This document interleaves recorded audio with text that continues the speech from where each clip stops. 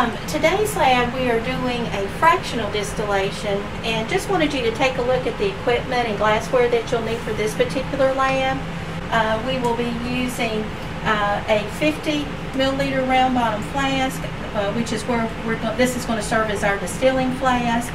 That will be connected to the um, fractionating column. Looks very similar to the condensing column but it is thicker. We're going to talk about the packing material a little bit later. Uh, we will have the still head, which is connected to the thermometer adapter. Thermometer adapter will be inserted into the, uh, the thermometer will be inserted into the thermometer adapter. We have our condenser and our vacuum adapter. And we will be uh, collecting three different fractions today, so we need three different types of receivers. I'm using uh, round bottom flask, 25 milliliter round bottom flask. You could use graduated cylinders if you wanted to. Um, maybe an Erlenmeyer flask. Um, any of those would really be okay to use for today. Uh, we need a uh, magnetic stir bar that we will stir the solution in the distilling flask. We need these clips uh, to secure certain joints and then obviously we need some clamps we need two pieces of tubing for the water going in and coming out of the condenser. Uh, we have a heating mantle and the Variac, that's going to be our heating source. We do need a um, stir plate. That one is a combination. We will not use the, the heating mechanism, but we will use the stirring mechanism. And then our packing material are these little ceramics discs that we will use. That This will go into our fractionating column once I have everything set up, I will show you and talk about the purpose of those, uh, the packing material. The two substances we're going to do a fractional distillation on, the mixture will be cyclohexane and toluene. Their boiling points differ about 30 degrees from each other. We probably will use some uh, aluminum foil as an insulation, uh, insulating material to surround the fractionating column. Um, and then ring stands, we'll probably need about two or three ring stands for this particular experiment.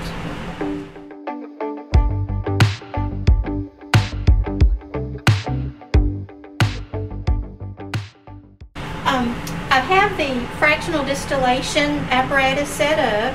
Uh, I have my heating mantle here. Inside that heating mantle is a round bottom flask. It's a, a 50 milliliter one. I've got 10 mils of cyclohexane and 20 mils of toluene. And those two substances differ in boiling points about 30 degrees. Boiling point of uh, cyclohexane is around 81. That of toluene is around 111.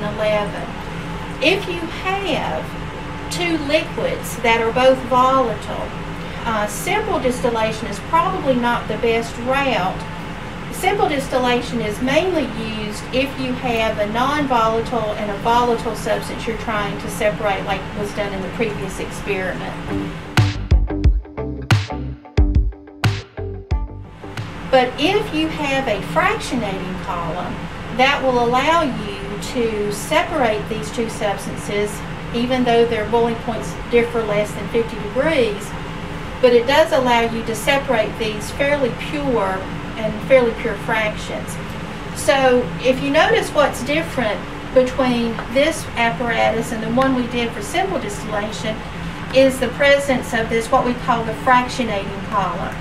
And the fractionating column looks very similar to a, a regular condenser except it's typically uh, larger. And the hollow tube inside can certainly be larger as well. Um, if you are using fractional distillation, you typically need to pack, what we refer to as pack, the fractionating column with some type of packing material. And there's several different types of packing material available. Some people will use uh, just regular steel wool uh, and put that in here. Um, others may use glass beads, that's very commonly used. I'm using these little ceramic discs, if you will, to pack the column. Um, one thing about packing a column, no matter what type of packing material you use, you never want to overpack it. because if you overpack it, it's almost like heating a closed system.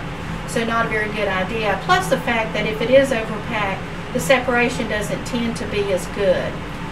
The packing material, the purpose of that is when you start heating this mixture of cyclohexane and toluene, it is true that the one that has the lower boiling point, which is the more volatile, will start to move up this packing material first. However, it's not unlikely for toluene also to start moving up the packing material. There will be many more molecules of the more volatile substance, i.e. lower boiling point in this part than it would be the toluene, which has the higher boiling point. But it's not 100%. So what this packing material does, it really provides a, kind of increases the surface area of where these gaseous molecules will climb up, but the its warmest, the hottest part of this packing column is at this lower end. As you move up closer to the top, it gets much cooler.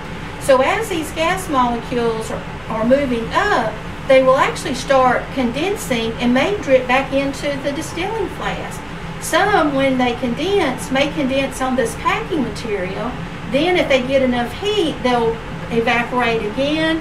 Then they condense, then they evaporate. But each time they're condensing and then they start to evaporate or vaporize, they're going up further in this column. So eventually they'll have enough energy to reach the, the still head and then once they reach here they will con, uh, continue down the condenser when that gaseous material hits that cold condenser they'll turn back into the liquid and then we could collect these in our receiving flask over here.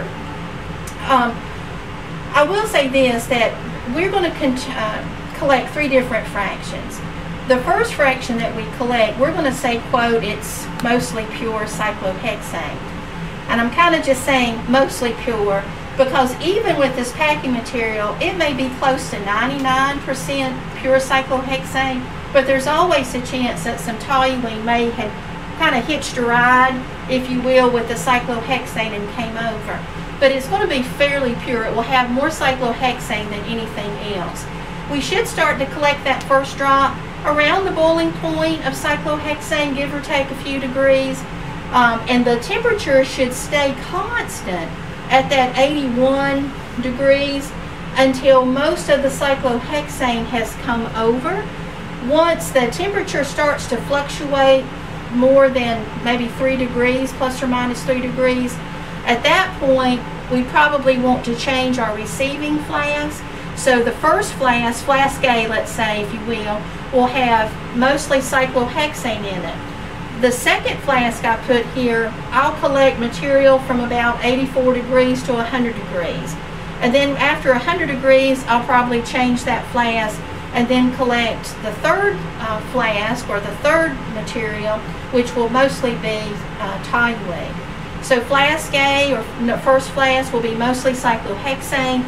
The second flask will be mostly a mixture of cyclohexane and toluene, and then when I substitute for the third or change for the third flask, that should be mostly toluene. A couple things that you should always double check. Um, make sure that everything is clamped well, that there's no gaps anywhere. If you notice, I put clamps at the uh, distilling flask and at the receiving flask. I've used these blue clips where there's no uh, flask used. We don't really want to overuse the clamps, as I've mentioned before, because that can put strain or stress on this glassware, which can cause it to break later. So also what I'm going to do is, because this is done in a fume hood, and you've got this constant flow of air circulating, that always cools this fractionating column down. And we really want it to stay warm so that those gas molecules will eventually come up and move over. So after I start heating it, turn it on, I'm going to take some foil paper and just kind of cover. Uh, I'm not going to cover the bottom of this glass, obviously, but I'll put some foil paper here. I'll put some foil paper up on the fractionating column, up through the still head, and I probably won't go higher than that, or I won't usually go over into the condensing part. But the foil paper it's a good conductor of heat. It's not a great insulator, but uh, it's probably one of the safer things that we have to use um, for that purpose. The other thing is, um, you're going to when we start heating this, the temperature is not going to move hardly at all, and uh, it's kind of a wait and see game. Remember, this thermometer isn't going to change its value, its measurement, until all those vapors get up here. You may have this boiling and there's no change in the temperature.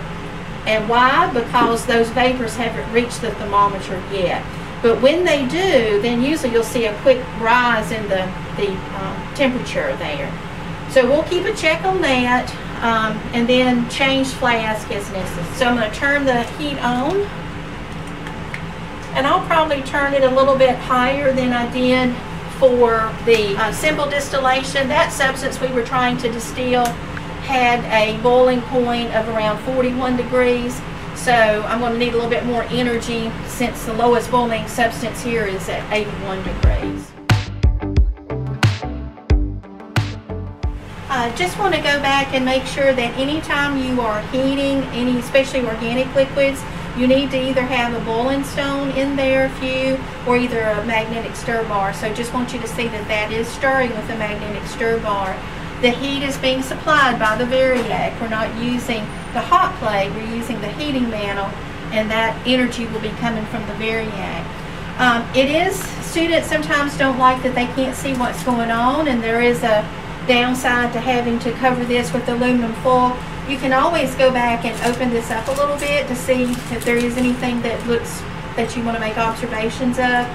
Um, you can also feel this when this starts getting pretty warm then you should think that there's some vapors up there and the condensation part will start pretty soon afterwards.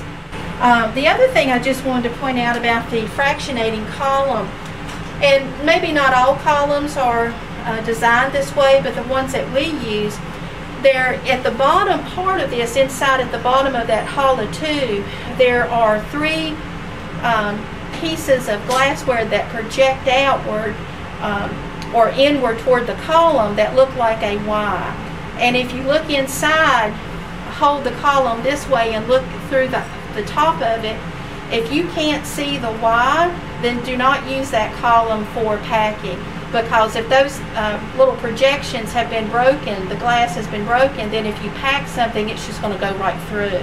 So another thing just to kind of look out for when you're using uh, fractionating columns.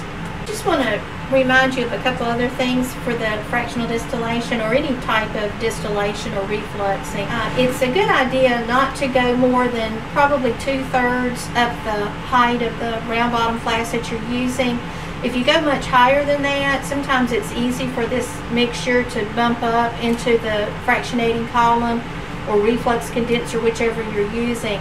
So you can see that it's boiling, it's stirring pretty hot, but this is still fairly cool, so it's going to take a while again for all those vapors to go up to reach the thermometer so they can condense through the side arm there. Uh, but watch out for that. If you do notice that it starts bubbling up and jumping up in there, then you just want to cut down on the heat that you're supplying.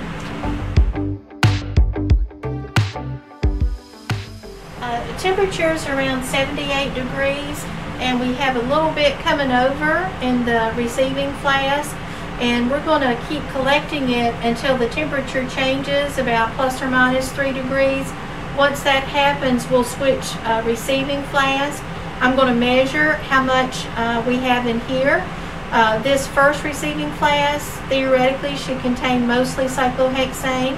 So we'll measure volume-wise how much we get back. Then we'll uh, look at the second fraction. We'll uh, continue collecting it until the temperature gets to about 100. Then we'll measure how much of that we received, and then we'll switch flask again and do a third fraction. And the third fraction should be mostly uh, toluene. This is the uh, results of the first fraction we collected that should be mostly cyclohexane and we collected 6.4 mils. Um, I changed the receiving flask when the temperature went up to about 85. Uh, at that point, then there's more likely going to start coming some uh, toluene. So I replaced the first flask with the second round bottom flask. We're now collecting flask number two or contents of flask number two. And I'm going to let this collect until the temperature gets to about 100. We're at a little over 90 now, so when that gets to 100, I'm going to switch that flask out, measure how much was in that particular flask, and then we'll um, keep doing the distillation until we collect flask three.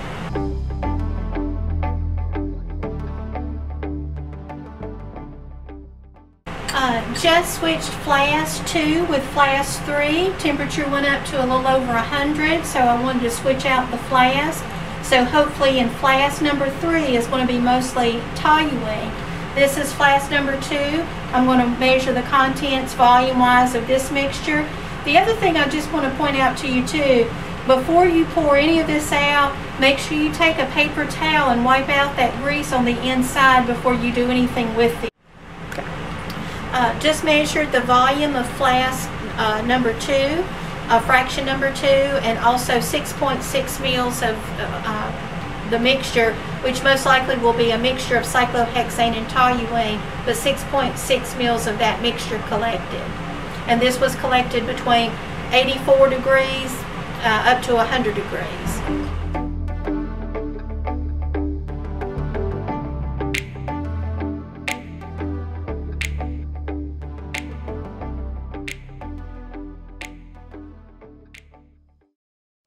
Ahead and cut it off. There's just a little bit left in the uh, distilling flask. Again, we never want to distill to dryness. So went ahead and cut the heat source off. I need to let that just cool a little bit before I remove this and see if I can catch those last few drops. After um, I measure this, we'll report that data. And then the last thing that you need to do, of course, after every experiment, is disconnect the apparatus when it's cool enough and then make sure you wipe off. I can't stress that enough. All these ground glass joints you need to wipe out on the outside as well as the inside before you start cleaning those. Always rinse with water. Always do a final rinse with acetone, and then you can put that piece, those uh, pieces of glassware back in your lab kits. Uh, just measured the the uh, amount of material in flask number three, and we had 12.2 milliliters of flask three a fraction 3, which should be mostly of the toluene. Uh, just measured what was left in the still pot and was 1.8 milliliters. And just wanted to kind of draw this to your attention. These um, ceramic discs, the plate uh, packing material, we can reuse this. So when you're done cleaning, you want to again wipe out the top and the bottom, uh, wipe off that grease. And then you can pour these into a beaker and just rinse them with water and then some acetone uh, and then we'll lay them on a piece of paper towel to dry and they'll be good for another experiment.